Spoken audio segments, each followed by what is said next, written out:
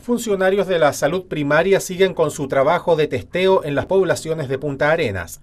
La atención a domicilio busca pesquisar casos asintomáticos de COVID-19 para ayudar a cortar la cadena de contagios. Primero realizamos un puerta a puerta invitando a todos los vecinos y a su núcleo familiar a acercarse a, nuestro móvil para que se tomen el PCR de manera voluntaria eh, y gratuita.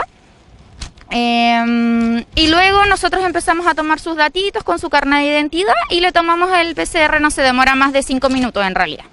Las imágenes muestran el operativo para toma de muestras que se hizo con los vecinos de las poblaciones Jardín de la Patagonia y Gobernador Filippi. Es muy bueno que lo vengan a hacer acá, porque así uno no se sale a exponer tampoco con todo este problema que estamos. Así que no, a mí yo me avisó la presidenta de la Junta de Vecinos y dije ya, me levanté, no me salí. Súper bien porque de verdad uno eh, generalmente evita ir a los hospitales por la congestión. O sea, si voy al hospital quizás puedo, salir, puedo estar negativa y puedo salir positiva. Entonces uno lo encontró súper buena idea, como súper expedito, una buena opción. En este sector se tomaron muestras a 54 vecinos en la clínica móvil de la Corporación Municipal.